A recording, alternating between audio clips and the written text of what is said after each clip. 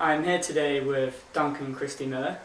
He is a ex-Royal Marine of the Navy and he is founder of Future Life Today, a very innovative program to help young people reach and the older generation reach their full potential. Duncan, do you want to introduce yourself? Certainly. Thank you very much, Alex. This is a great opportunity to be with you and to be with your audience today. And uh, I think it reflects very warmly on you having set it up and got the initiative to get uh, to get it going. So congratulations Thank on you. that. Um, the aim of uh, meeting with you today is to introduce you to some of the principles and ideas contained in Future Life Today. And as Alex mentioned, the whole aim of the program, which is web-based, social media-based, is to unlock your full potential. Now I'm um, 74 years old at the moment, it's, it's 2018, and the sun is shining. The weather is good. I've had a, a, a brilliant life. I've had an extraordinarily varied career. I was a Royal Marine for 20 years. I then decided to leave. I think I had a sort of mini midlife crisis and wanted to find out really who I am. And part of Future Life Today takes you from the question of who am I and helps you answer the question who I am. And it's a journey which lasts for the whole of your life. And my life, as I said, 20 years in the Royal Marines, I then set up with two other people a container uh, shipping company, sold it. I then ran the financial services for Debenhams, the retail group, and then set up Christie Miller Limited. And I've been running that as a personal development program in the United Kingdom and indeed around the world. Um, I was born in Sri Lanka, Ceylon, lived in Singapore for many years with the Royal Marines. I was in the US Marines for nearly three years, based in America. I was a equerry to Prince Philip for three years, traveling around the world. And uh, I've been um, a global trotter. And all of these have been remarkably influential, great experiences in developing for me future life today. So my aim today is to give you a, a little insight into what this, this uh, consists of. Essentially, there are five component parts to it, and it spells the word aimed, A-I-M-E-D. I will teach you how to activate your senses, how to activate yourself. Innovate, how to use your brain, how to be creative, how to motivate both yourself and other people, especially when you're trying to create a team. But I'm not content with just a team. What I'm always aiming to do is to create truly great teams. No man is an island. We work, we work, we live in teams, and it's beholden on all of us to know how to create a truly great team. And I've got some rather unusual ideas about the position of the leader, male or female, in relationship to the team. The E of AIM stands for how to educate yourself, how to continue to use your brain, how to study, and how to use experiences, both good and bad, to give you positive results. And the D is dedication. And part of that is contained in the phrase mens sana in corpore sanum, a healthy mind in a healthy body. And there is a huge amount of evidence to support the fact that the physically fitter you are, the mentally fitter you will be.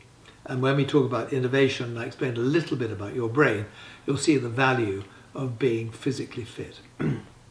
so, I hope that gives you an introduction to, to, uh, to what I do and what I passionately believe in. And actually, I, I do think, uh, without over egging it, I, I'm on a mission. I'm on a mission to help people to unlock their full potential, to be happy, and to be successful. Great, that's a very informative introduction. Uh, I just want to go back to your background really. Um, what exactly uh, motivated you to join the Marines and what did you get out of uh, doing so? The motivation to join was uh, really threefold.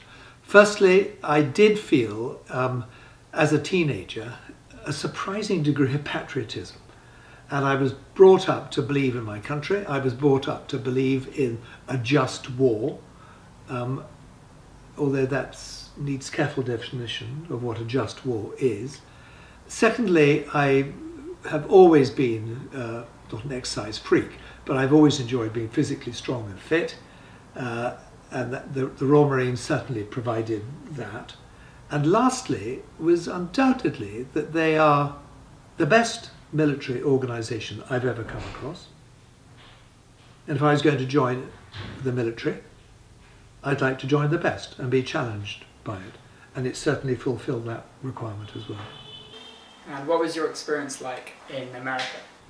Living in America with the United States Marines was, was, a, uh, was a revelation.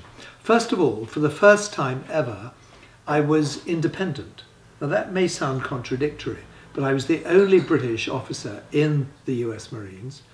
And as a result, I was able to flex the system a lot. And I got myself posted to some very interesting places. I was, for the two and a half years, I was in an organization called Force Reconnaissance, which is the American Marines equivalent of the SEALs. And that's Special Forces, and they were undoubtedly the best of the bunch. They presented a big challenge. I had to learn a new language.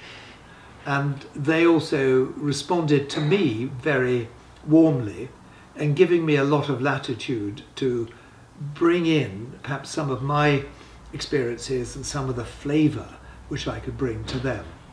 And I learnt a, a lot from them. Um, their equipment is excellent. Uh, in that unit, the spirit was remarkable. And we did some very exciting things. Great, great. So, what exactly did you learn after the experience? Did you learn uh, a great deal about, uh, about leadership? Because I know you were head of recruitment for the Marines itself. I ran the officers' training, but that was after I'd been in the US Marines.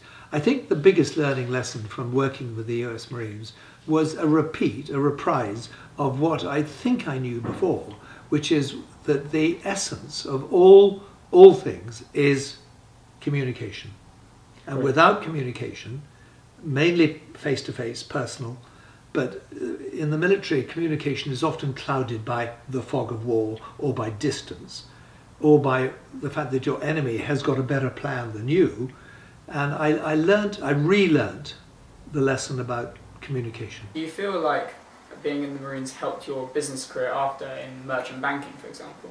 Yes, it did. Uh, my, my, the skills that you learn in the military, camaraderie, teamwork, communication, problem solving, are definitely of use in the business, in the business world. But without business acumen and without financial acumen, you're not going to succeed in business. You can get away with it in the military because the military essentially are not in, not interested. They are they don't stress financial acumen. Um, but you you've got to develop that skill. And when I left, and in the container world and in Debenhams, uh, I did, I really had a steep learning curve to learn some new skills. I found it really challenging, really exciting. And that's, again, one of the things I passionately believe in, is that you never stop learning. And you learn, of course, from your failures more than you learn from your successes. As long as you're prepared to accept that a failure is not actually a disaster, it is a way station on the way to success. So there's no such thing as a failure, actually. It's just a success waiting to happen. So the phrase win or learn is, is very valuable. Totally. I think I wish I'd said that myself.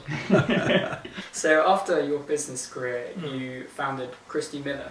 Am, am I wrong? Um, Correct. Christie Miller Limited is a consultancy, and our strap line is creating the future. And here I wanted to get people to um, always look ahead, always be a, amenable for themselves and for their, their team and their family and their, their firms to, to create what's next and to make an improvement on where they are now.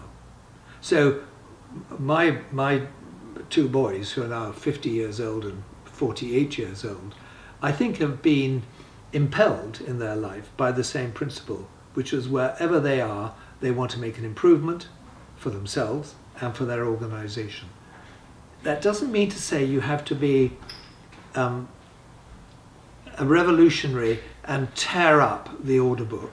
It just means that you have to you have to understand that everything can be improved. And indeed, I've written a thing called defined quality management, which takes improvement in steps so that you're continually improving. And as an example, Brailsford, who ran the uh, British Olympic cycling team, he adopted very similar ideas, which was you take everything that you do and you make small, minute improvements, and the cumulative effect is, is, is very big. But the, the actual switching of one thing and making it a tiny bit better is nearly minuscule, nearly not, not aware, you're not really aware of it.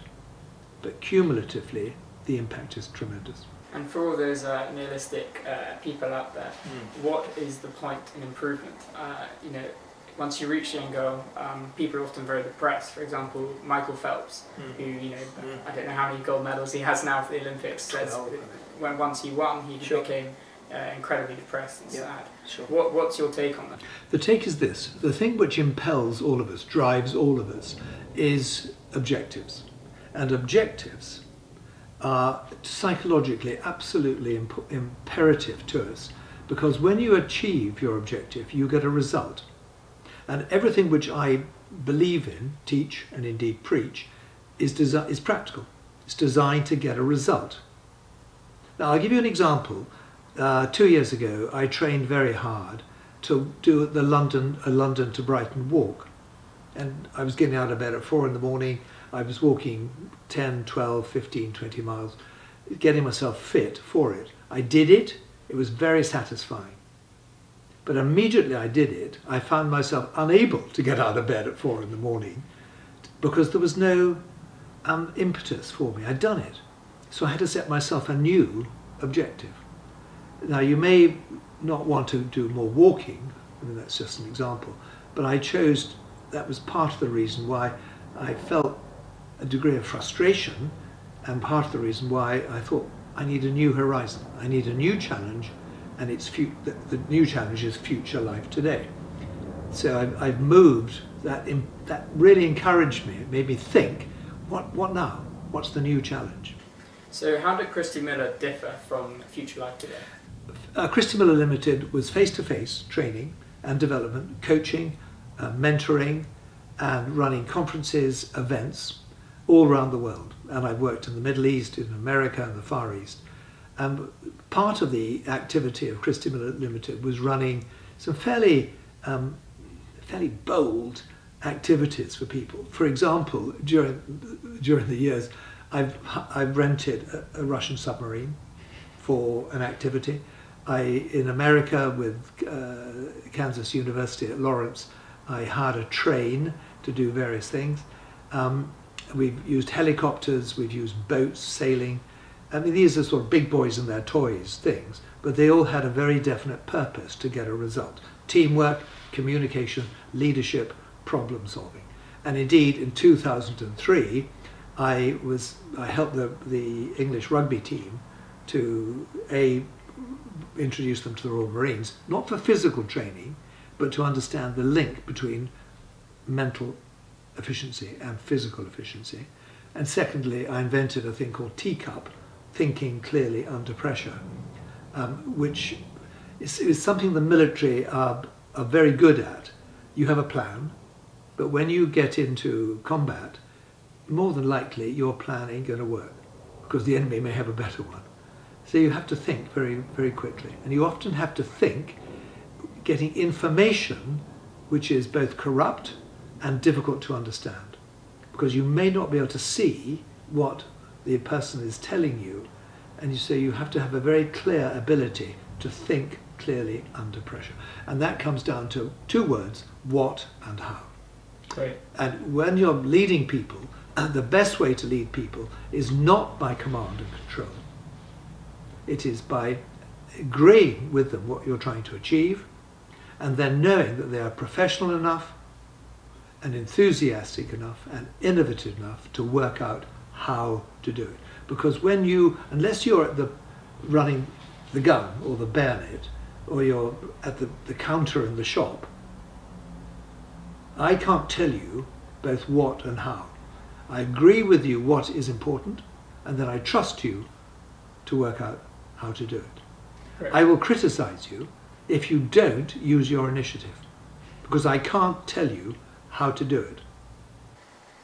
Great. So you mentioned you had a, a kind of semi midlife crisis after you left the army. Yes. What um, for anyone in a similar kind of situation who's struggling with Mm. depression, anxiety, Mm. or whatever, uh, what advice would you give them, and Mm. how would you practically implement the steps that you have in Future Life today? Okay. In, in, in you know ten, you know, a minute.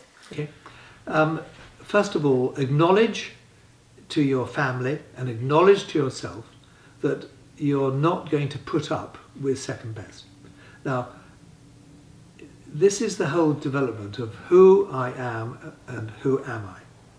And I began to realize that, that who I was, who I am, um, was slightly out of balance with some of the military diktats that I was having to live with. And essentially that came down to me to being using the word as I've used it once already the word independent and I needed to, to stand on my own two feet not to be reliant on an infrastructure that was both very comfortable and challenging but slightly restrictive so the first thing acknowledge that you have a need it's not I wouldn't call it a problem but you have a need uh, and to do that you have to acknowledge that you need help you need advice, you need wise counsel. And I would look for people, systems, but mainly people who would actually guide me. Sometimes you can get that through books, and that's where future life comes into play. It's not books, it's videos, but I do try to help people who are who've got a dilemma, have got a, a number of points where they could go left or right or center to make up their own minds. But part of that goes back to this spirit of independence, and I call it self authorization. And you have to give yourself permission to do things, because otherwise, you go through life um, making decisions which are narrowed by circumstance and by the environment you're in. So you always have one or two decisions which are made, that options. But when you self authorize, you create your own options as opposed to having them enforced by circumstances on you. And it's a, for me, realizing that I could self authorize was a huge leap into independence and creative thinking. And also, at the same time, fear of failure. Because if I was leaving the, in inverted commas, security of the Royal Marines, which, was, which is a bit of an oxymoron, um, I had to make a success of it. Otherwise, I wouldn't have enough money, my family would suffer, and I would be, in inverted commas, a failure. So, you take a risk.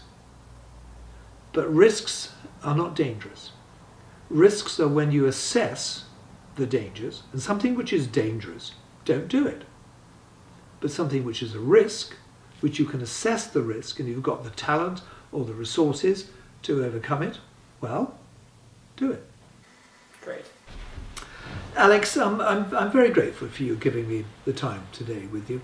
And I'd like to spend perhaps another 10, 15 minutes just outlining some of my really core beliefs, and they're contained in Future Life Today.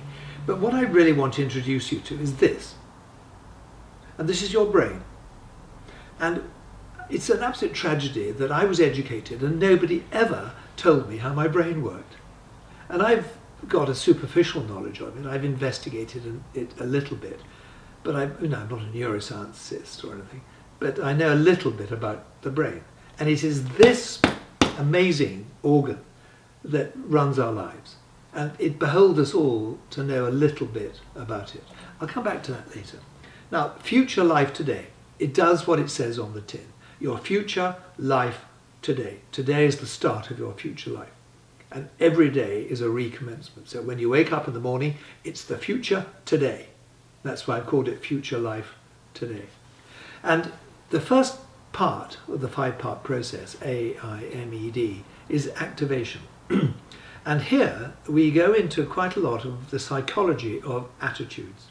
And indeed, if you go into the program and look at it, you can pull it down and you'll see that there is a list of positive and negative attitudes. When you wake up in the morning, every morning, you have a choice of attitudes. Now, if you don't adopt a positive attitude, you're, you're going to be neutral. you're going to be vanilla. And what will happen is that a little niggle will turn you into being negative. So you have to start adopting positive attitudes. And it could be as simple as being cooperative, or being listening, or being team oriented. But today, this is what I, who I am, and this is what I'm going to be. The, the second part is understanding, as I mentioned earlier, about self authorization, giving yourself permission to do things.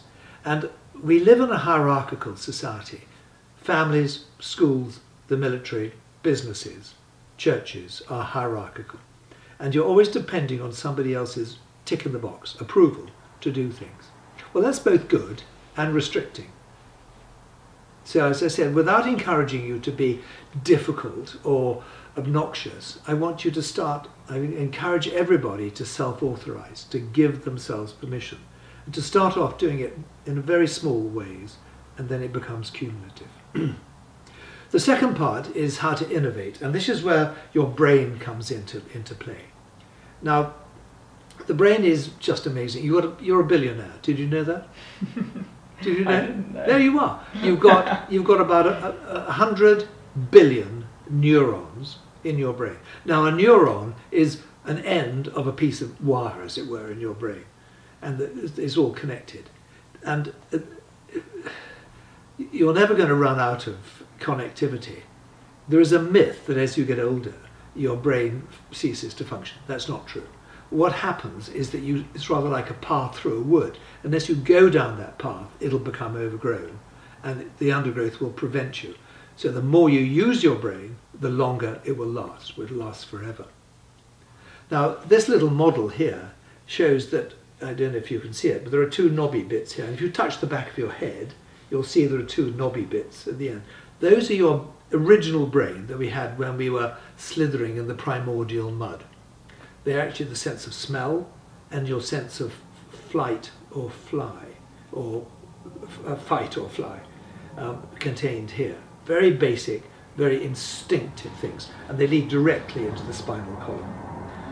Contained inside the brain, because this is what we always think the brain looks like, the crinkly bit, but inside the brain is your simian brain, and this is what we had when we were monkeys. And above it is the modern brain, which is probably no, no more, uh, no older than about 15, 20,000 years. We really don't know. And the reason it's all crinkled is because our skull hasn't expanded at the same size, the same time as our brain. Our brains have got bigger, but our heads haven't. So it, has been compressed. Now, people say, what, what do you know about your brain? And most people say, there's a left and a right. A left and a right. And that's true, but they're not exclusive. And for example, if you put your finger in your left ear, you'll bump into a thing called the amygdala. And the amygdala, which is Latin for uh, Greek for almond, controls access to your emotional libraries. And imagine in your brain you've got a series of libraries, reservoirs, and the amygdala sends a signal down to the, uh, the, the noise library. And so when you make a noise, it says that's threatening or that's friendly. Or it, it goes to, um, you, you see a pretty girl and he says, yes, I, or I like that, or I don't like that, or I like this smell. So that's in the left-hand side, but there's an alternative and secondary amygdala in the right-hand side as well. But essentially the left-hand side, if you wanted to classify it as left and right, is control of logic, and the right-hand side is, the, is rhythm, emotion. But the connectivities are between the two. And joining the three brains together, you have a thing called the corpus callosum. And this is a, a nerve membrane, like a motorway bridge joining two sides together. And in women, it's much more developed than in men. And that means that women have an inherent desire to communicate. They perceive something, they experience something, and want to tell somebody. With men, it's not so well developed. So we tend to experience something, keep it to ourselves. Now, I've had my brain scanned, and I've got a rather feminine corpus callosum. And that probably explains why I enjoy doing what I enjoy, because I experience something and I'm curious, and that prompts me to want to explain it and understand it. And curiosity, without curiosity, our brains don't function. Now we have five senses. There may be a sixth sense. But without curiosity, they don't come alive. And one of the self-authorization techniques is to be curious. And I teach people every day of their lives to go to bed having said every day of their lives, that's interesting. Now you're sitting on a sofa opposite me. It's interesting that you've chosen to adopt that posture. That's interesting. Why are you sitting like that? Why are you wearing the clothes you're wearing? Why am I wearing what I'm wearing? You know, that's curious. And we should go through life continually saying, that's interesting, and then interrogating it, not just accepting it. So that's the second, that's the very brief introduction to innovation. Here's your brain, 100 billion connections. You're never going to run out of brain power. Motivation. Motivation is very simple. Everybody wants to get results. So achieve a result, do it in a team for the individuals who are you have a personal relationship with and collectively do it to the group as well. And what this actually means is that in a team, when you're trying to motivate a team, you shouldn't have a team that's really no, that's bigger than six or seven people. To reach out to more than that is very difficult. To have a personal and a team relationship at the same time. And one of the problems in, in business and indeed in all spheres of life is that people think bigger is better where teams are concerned. Not true. Five, six, seven people in a team is perfect. And then you, you, you, you cascade it down so that you get a, um, uh, a, pyramid effect, as it were. But remember that the leader in a team is not actually at the top of the pyramid. It's the reverse pyramid. The leader is actually at the bottom. Because without, as it were, the private soldiers, without the workers, the leader is nothing. So he or she is providing a service upwards. And these people above you are more important than you. So you serve to lead.